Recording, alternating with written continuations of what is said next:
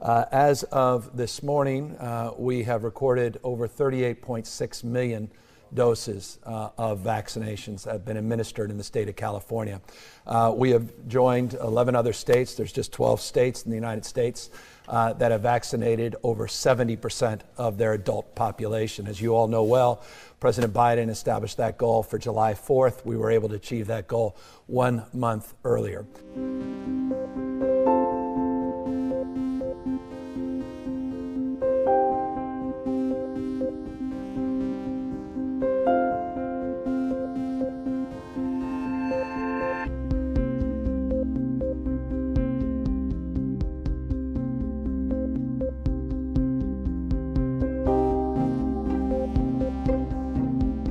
So 70 plus percent of Californians, 18 and over, adults, have received at least one dose.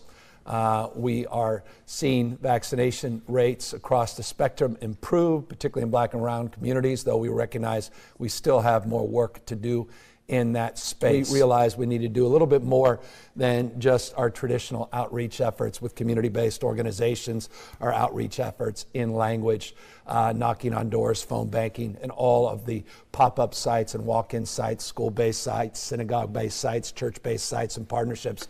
And that's when uh, we decided to move forward with incentives. But we are where we are, and incentives have long worked, and incentives uh, are indeed what we are advancing here today. It was, in fact, a week ago, a little over a week ago, on Thursday of last week, that we announced a $116.5 million commitment uh, in our totality of incentives coming from the state specifically.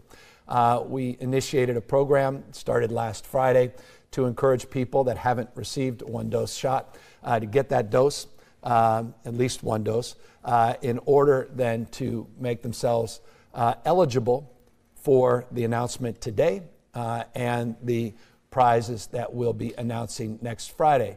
Uh, we encourage people as well to uh, get a vaccine by providing gift cards of a $50 value. Uh, we've got over 343,000 people uh, that have received or are about to receive notification that they not only are eligible but will receive that gift card after their second dose or uh, more uh, appropriately after that one dose, if indeed they choose the J and J vaccine. All right, so we got the first five numbers, and again, these are unique numeric identifiers that connect to a name, so they're real winners here. Fifty thousand dollars. Each one of these balls represents fifty thousand dollar uh, check that individuals receive when they get their second shot.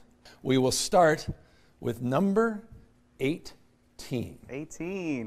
There you are. And we'll find out where number 18 is 18? Mendocino, Mendocino County. County. we got number 25. 25. Where's number 25 from? Here you go. Oh, Los Angeles. Los Angeles. Number 43. Where are we? Where's 43? Aha, Santa, Santa Clara. Clara. Number three. Where's number three? Oh, look at that Alameda. You know where Alameda is. And the last one this week $50,000 ball going to whoever of the 21.5 million Californians that just randomly has the number 40. 40. And that person resides in Unbelievable. Santa, Santa Clara. Clara. Look at that. Do this again. Another 15 people, $50,000. We just handed out 700.